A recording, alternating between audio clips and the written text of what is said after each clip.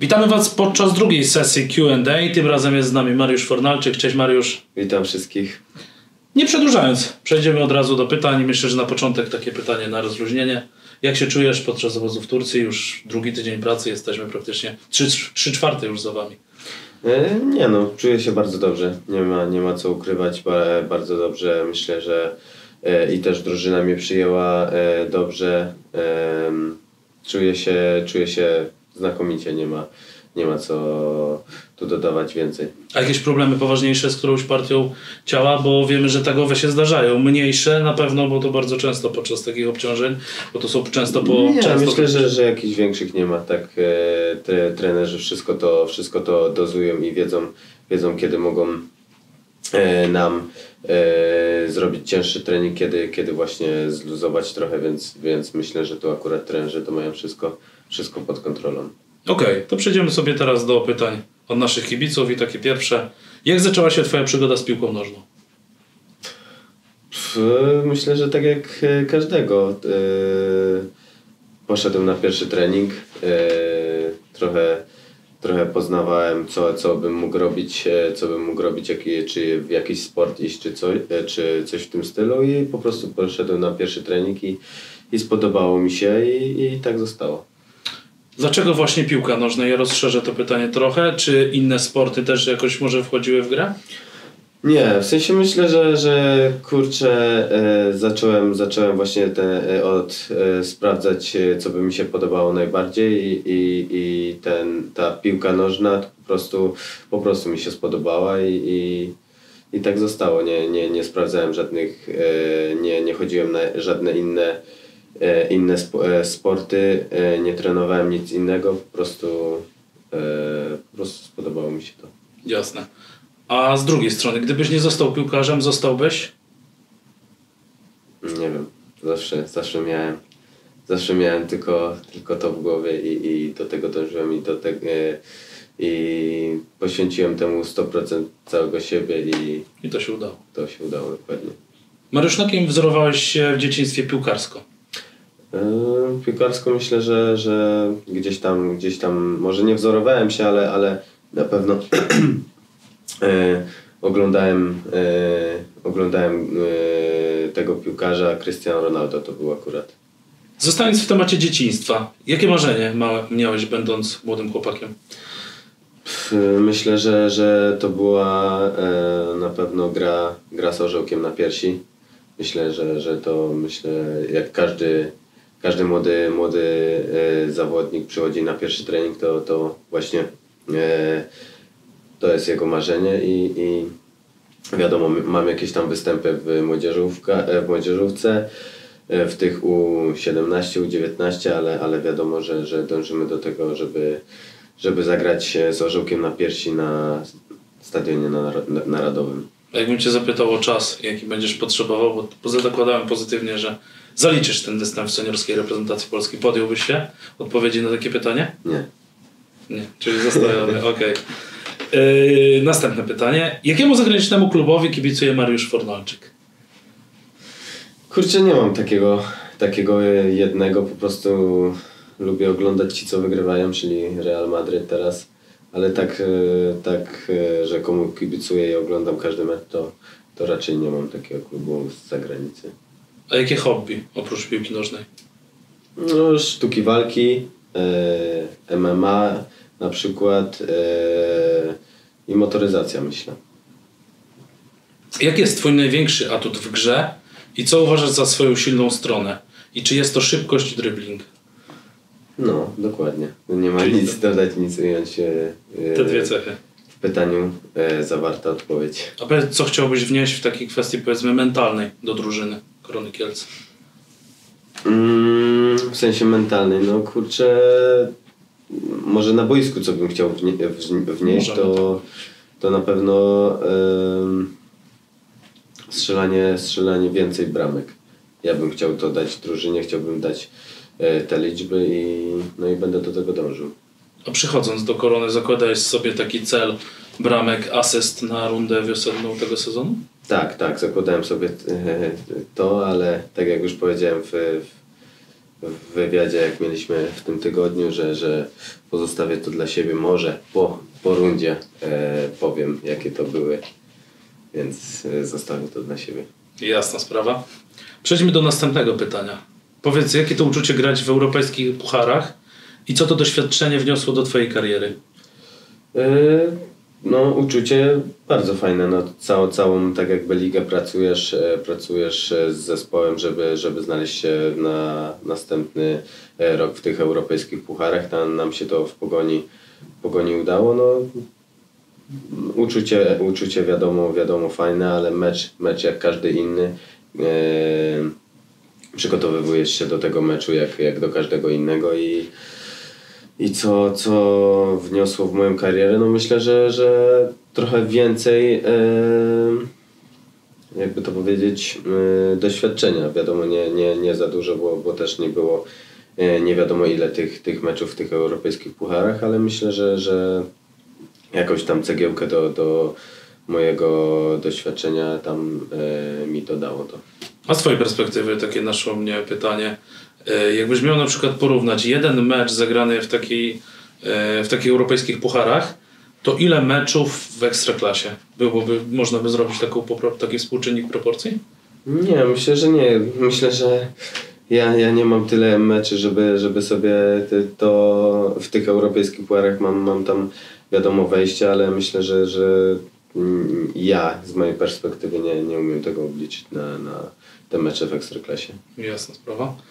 Powiedz, co skłoniło Cię do zmiany Pogoni Szczecin na Koronę Kielce?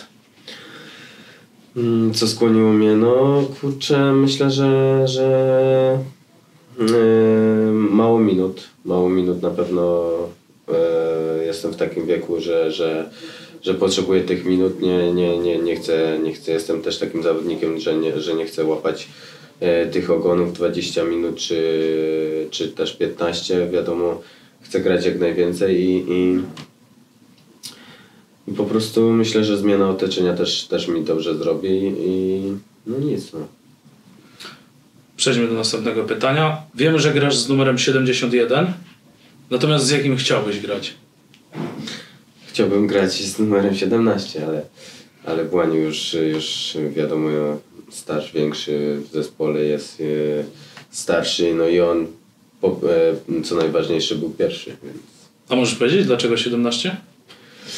Yy, myślę, że to się wzięło z, z kadry U17. Pojechałem pierwszy raz na kadrę U17. Yy, zadebiutowałem z 17, trafiłem pierwszą bramkę i, i, i na tej właśnie kadrze U17 i myślę, że, że to tak zostało wtedy. Zostając przy temacie Twojego przejścia do korony, powiedz, jakie miałeś pierwsze myśli, gdy dołączyłeś do naszego klubu? Pierwsze myśli miałem bardzo pozytywne nic, nic się nie zmieniło, dalej, dalej są pozytywne. Ale e, wracając do tego pierwszego dnia, no to, no to wiadomo, poznałem się z chłopakami, ze sztabem, z, z, z klubem, z wami też e, się poznawałem, więc, więc odczucia bardzo, bardzo dobre i, i mam nadzieję i nie tylko mam nadzieję, a wiem, że, że będzie tak dalej. Czyli myślę, że w zasadzie na następne pytanie już odpowiedziałeś, bo jest to pytanie, jak się czujesz w koronie przed momentem udzieliłeś na nie odpowiedzi. Mieliśmy tu tylko taką małą adnotację. Czy mógłbyś pozdrowić Martynę Raducką ze Szczecina? Jasne, pozdrawiam. I kolejne pytanie nadesłane przez naszego kibica. Powiedz, z którym zawodnikiem Korony najlepiej się dogadujesz? E, ciężko mi, ciężko mi wybrać teraz tak po, po dwóch tygodniach z kim, z kim najbardziej e, się dogaduję. Dogaduję się ze wszystkimi bardzo dobrze bym powiedział wiadomo, jestem e, w pokoju z Marcelem, to, to z nim gdzieś tam najwięcej czasu, czasu spędzamy, ale, ale ze wszystkim się bardzo dobrze dogaduję. A atmosfera w naszym zespole, jak Ci się podoba? Bardzo dobra, taka, taka rodzinna bym nawet powiedział, że, że, że też jak przyszedłem do, e, do właśnie do korony, czy, czy wchodziłem do szatni, to, to też e, chłopaki powiedzieli, że, że czy jakaś pomoc przy, przy przeprowadzce, czy, czy coś w tym stylu, że, że pomogą, więc bardzo dobre. Czyli tak naprawdę miałeś okazję zaznać na własnej skórze, że hasło korona to rodzina to nie pusty slogan. Dokładnie. A powiedz teraz, jak idą przygotowania do wiosny? To myślę, że takie pytanie już stricte pod obóz. Przygotowanie do wiosny pełną parą. Bardzo, bardzo mocno trenujemy. Powiedziałbym, że, że e, dzisiaj myślę, że dzisiaj był e, taki bardzo, jak nie najmocniejszy trening, to, to jeden z najmocniejszych. E, no ale te, musimy, musimy to robić. E, wiemy, wiemy, co chcemy zrobić w następnej rundzie i, i e, nic, tylko ciężką pracą musimy, musimy to zrobić. Wiem, że to pytanie już, na- to pytanie już odpowiadałeś, ale jeszcze raz, żeby rozwiać wątpliwości. Bez na jakiej pozycji czujesz się najlepiej na boisku? No na, na oczywiście gra, grywałem na, na prawej e, pomocy, ale, ale gdzieś najlepiej się czuję na, na, lewej, e, na lewej pomocy, czyli na lewym skrzydle. A czy byłaby taka koniec, konieczność, zdecydowałbyś się na zmianę tej pozycji na inną? E, jakby trener widział, widział we mnie inną pozycję i, i widziałby mnie na tej pozycji, no to myślę, że, że tak. Zapytam Cię teraz o oczekiwania na ten sezon. Jakie one są Twoje indywidualne, bo drużynowo myślę, że nie musimy tutaj mówić. No indywidualne myślę, że, że no na pewno złapanie, złapanie więcej minut, e, pomaganie, pomaganie drużynie jak tylko mogę w każdym, w każdym e, meczu. E, no i co, myślę, że, że to, to te dwa najważniejsze. A powiedz, w której top lidze widzisz się za jakiś czas i czy wierzysz, że ten transfer tam nastąpi prosto z Korony Kielce? No, moim marzeniem e, i celem wiadomo jest e, Liga Hiszpańska, La Liga. E, czy, czy myślę, że, że uda mi się to z Korony? Myślę, myślę że tak. Myślę, że, że Korona jest, jest na tyle dobrym klubem i, i oglądają. Polska jest znana na, na polskiej i myślę, że, że Europa też, też o niej słyszała, więc, więc myślę, że, że tak. A jakiś konkretny klub? Nie. Ogólnie Czyli po prostu Liga Hiszpańska. Liga Hiszpańska tak. Jasna sprawa.